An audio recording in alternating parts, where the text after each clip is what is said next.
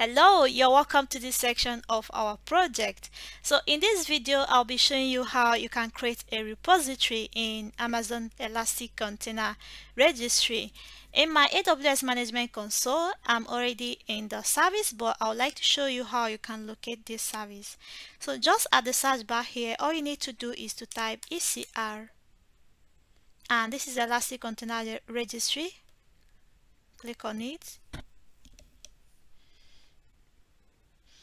and this is it here. So I'll click on get started. And over here the visibility setting should remain private. I would like this to be a private repository. And here I'll give it a name. ECR repo. Alright and if I scroll down this is actually all I need to do here. All I need to do now is to click on create repository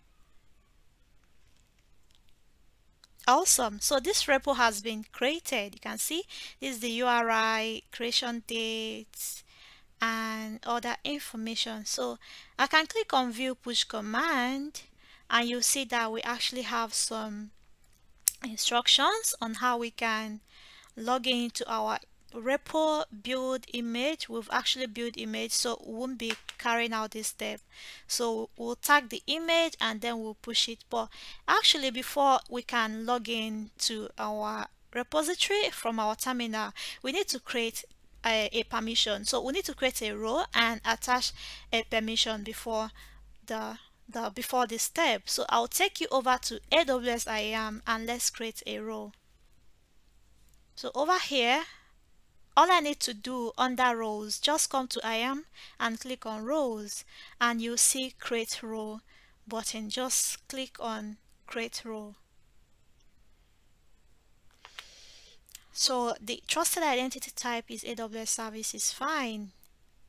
Under use case just select EC2 and then click next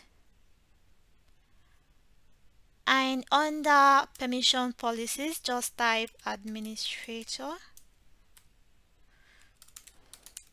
press enter. Great.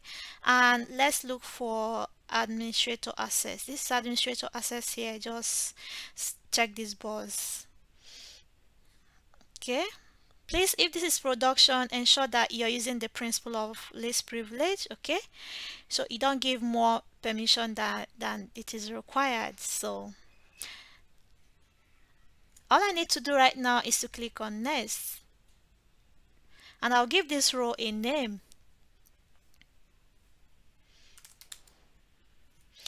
I'll name it um, ECR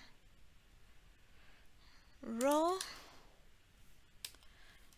ECR 1 that is fine and that is pretty much all I need to do here and I'll just click create role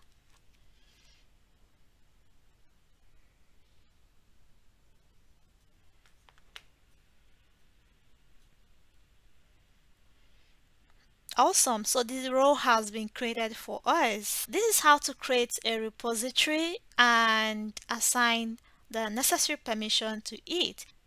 So that is it for this video. In our next video, I will show you how you can create access key and use that to configure because yeah, we actually need some authentication before we go ahead into logging in, tagging and pushing our image to ECR. Okay, so I'll see you in my next video. Thank you so much and bye for now.